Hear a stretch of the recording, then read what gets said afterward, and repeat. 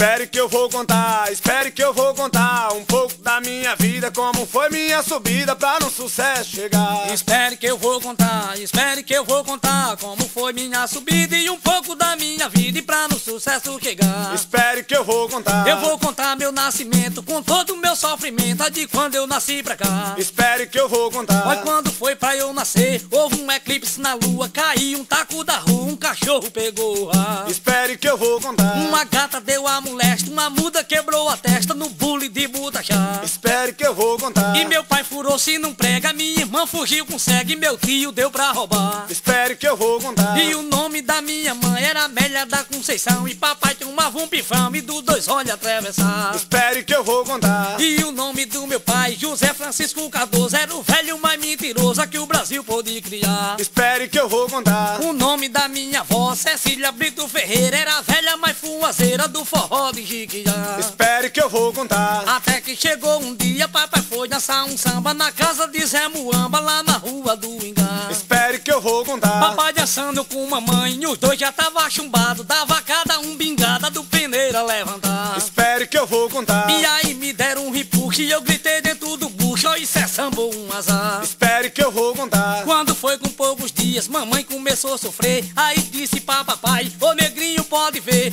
uma parteira pra mim que o garotinho quer nascer. Espere que eu vou contar. Meu pai saiu na carreira e doido cobrindo, tinha um velho abestalhado e ele chegou numa venda, ficou bebendo fiado. Espere que eu vou contar. Ele chegou numa venda, pediu uma cana fria, encontrou-se com um compadre, muitos anos que não via, encheu a cara de cana e veio chegar com 15 dias. Espere que eu vou contar. E quando a parteira chegou, aí eu tinha nascido a parteira de pileque e papai quase caindo. Ela chegou de caçola, que a saia tinha perdido. Espere que eu vou contar. Quando a parteira chegou, era somente sorrindo, com um cachimbo na boca, de vez em quando cuspindo. E era rodeando a cama e o fumaceiro cobrindo. Espere que eu vou contar. E eu nasci mais no perigo, e pra cortar o meu umbigo não tinha com que cortar. Espere que eu vou contar. E tinha uma foice véia, numa montura abandonada, tava toda enferrujada e relou pra lá e pra cá. Espere